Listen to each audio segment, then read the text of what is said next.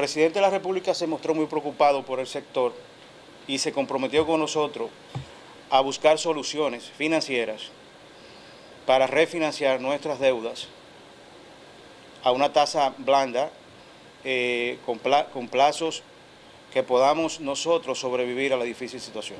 A raíz de la apertura de los hoteles, es incentivando el consumo local, lo cual nosotros, como estamos alrededor de un 5 a un 7.